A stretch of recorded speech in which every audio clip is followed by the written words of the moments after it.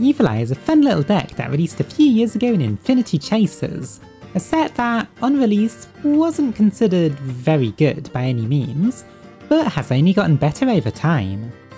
After all, we know just how resilient Earth machines are these days, and Witchcrafters just got some support that, finally, makes them actually quite good. So Evil Eye has some fairly strong competition. How does it fare against those two decks? Well, with Serziel being a great normal summon that can destroy a monster and has a ton of protection, he served more as a little self-contained engine for decks that didn't need their normal summon. An Aleister Light, if you will. You'd see it pop up in other Fiend decks, notably like Unchained. That, or you could just play them with a ton of Floodgates like in Master Duel. Both of these options left a ton of their cards unused though, but honestly, their support is actually quite good, but just not quite fast enough to be worth it entered a new support from Photon Hypernova, and that's all about to change. We're only getting two new cards, but it's barely an exaggeration to say that they just do everything. Let's start with Basiltrice, Familiar of the Evil Eye. To start, it has very easy summoning conditions, special summoning itself from either the hand or the graveyard as a quick effect, with the only condition being that you need an Evil Eye on the field, and that it banishes itself when it leaves it basically combining the summoning conditions of the two familiars that it's an amalgamation of. Then it takes a page out of both Weather Painter's and I:P Masquerena's book, allowing you to quick effect link summon an Evil Eye monster, all while using your Evil Eye equip spells as materials. This means easy access to Zerrziel, and you can even wait until after Zerrziel has destroyed something to do that. But wait, I hear you say. What's the point of making a Link Evil Eye if you just linked away the equip spells? It won't have any effects. Well, worry not, for that's where our second card, Evil Eye Unleashed, comes into play. This spell has a cost of sending both an Evil Eye monster and a spell or trap to the graveyard from your deck. That's right, it combines both Foolish Burials, and we're not even into the main effect yet, meaning of course that you can't actually negate that part of it. Needless to say, even if the actual effect was just pay 500 life points, it would still be a good card, but it gets better. The actual effect is that you get to search an Evil Eye equip spell, with the only downside being a 500 life point cost for using any non-Evil Eye cards.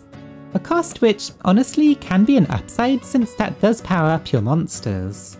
You'd think that would be enough, but it also has a graveyard effect. When link summoning an Evil Eye monster, you can banish the spell, and equip an Evil Eye equip spell that was in your graveyard to this card. So obviously you use Basiltrice to link summon on your opponent's turn, and then this card to immediately re-equip the Evil Eye. Problem solved. So with a few new consistency tools and some interesting things you can do with your level 3 summons, this deck's shaping up to be a consistent, solid strategy. So now let's take a look at how to build the deck. Here's the deck list. I've gone for a control focus build, so one with quite a few traps, but having going second staples to side in will of course be useful too. To start with the most important, you'll of course want to run 3 Serziel. After that, run 3 of our new monster, as well as 3 Basilius for its ease of special summoning, and also being another way to send Gorgonio to the graveyard. To round out your monsters, one Medusa is good for later turns, creating a loop by recycling defeat and then bouncing herself and an opponent's card, and then also run 2 Catoblepas since it can be a good target for resurrection to send if you already have Basiltrice in the graveyard. Now on to spells, and you'll want 3 Domain as well as Terraforming, since by itself it can get your combo started. Unleash is of course also great, so you'll run that at 3. Then I do like both Evil Eyes at 3, since they both offer so much to the deck, and Gorgonia is a lot easier to send these days, so you don't want to run out of them. Then these next three are pretty optional, and you can tweak their ratios to your liking. Since they're all pretty searchable, I like one Confrontation for back row removal, one Repose for dealing with monsters with too much protection, and finally one Manifestation to allow for link plays without Unleashed. The removal is especially useful to make sure you've at least got some kind of out against back row or towers monsters, and since they're recyclable, you'll be able to deal with a variety of decks once you've slowed them down a bit. If you don't like these though, just replace them with any staples you want. Speaking of, 3 Prosperity really helps this deck sacrificing a pretty optional extra deck for wild amounts of consistency. With this, you'll basically always get to Serziel with an Evil Eye equipped. Finally, here are our traps. For the archetype ones, I like Defeat at 2, being a double compulse in most situations, and then Retribution, which you'll usually search, being a counter to a lot of going second card. To round the deck out, run 3 of both Solemns, with Strike being one of this deck's few negates, and Judgment also being a way to stop your back row from being destroyed. Now for the extra deck, you do use it a lot more ever since the new support dropped, but still not so much that we can't use Prosperity. So we've got a mix of repeat copies to banish as well as small combo packages. I run 3 Zerrziel and 2 Gorgon. Zerrziel being your usual end board, with Gorgon being an option for a negate instead. We also have one Muckraker as an alternative for Fiend Link climbing in the stack. Then, since it's pretty easy to end up with level 3 monsters that won't really be doing too much on the field, we can turn them into Xyz monsters.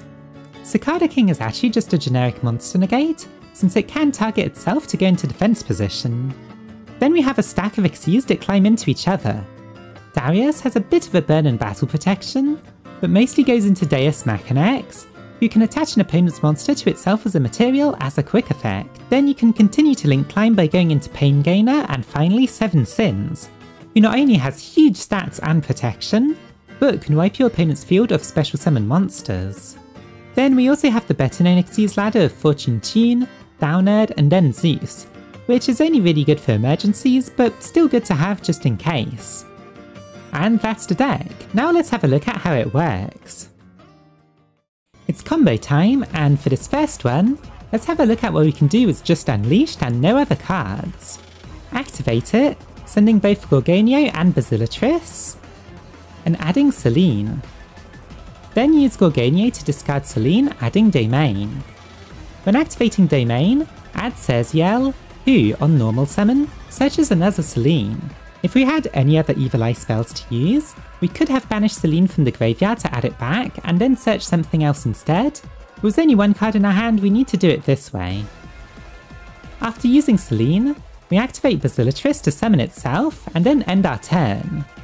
During your opponent's turn, you can now use Basiltrice' effect to link itself, Selene, and Zerziel into Zerziel. This will trigger Unleashed in the graveyard to reattach Selene to Zerziel, giving it both protection and a destruction effect. Now let's try some test hands. Here, like usual, the first thing you should do is activate Domain if you have it, this time searching a Basiltrice. Then summon Zerziel to get Resurrection, which you'll use to dump both Catoblepas and Gorgonio, while searching a second Gorgonio. Now both Catoblepas and Basilius summon themselves, making a Darius to go into Machinex. The Gorgonio in the graveyard can now discard Basiltrice, since it works just as well from the hand or the graveyard, and by doing that, you get a retribution. Now just set your traps, and play Selene followed by Gorgonio, bringing Zerziel's attack up to 2600, which is important if you want to give Zerziel all of its effects. We end the turn by summoning Basiltrice, waiting to use its quick effect Link. You'll now have a bunch of interaction on your opponent's turn. You can negate a spell with Retribution, steal a monster with Machinex, destroy a special summon monster with Zerziel, and after that, quick link into Zerziel for destruction of any type of card, with a double bounce from defeat as a backup. Then once it's your turn again, you'll have enough damage to clean cleanly ATK your opponent for a nice easy win.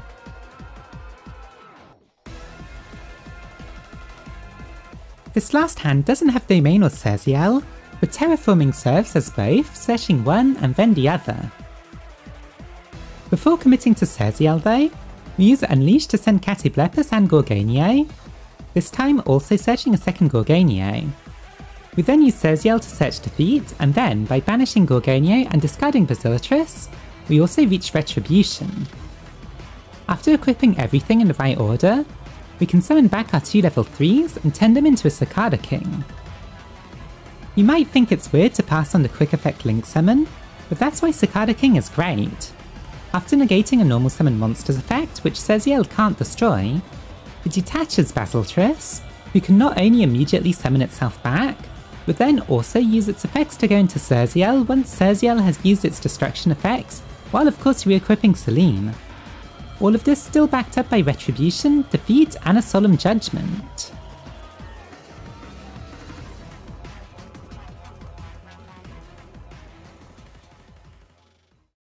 And so that's the deck. I hope you'll try Evil Eye out again, since this new support does a ton for the archetype.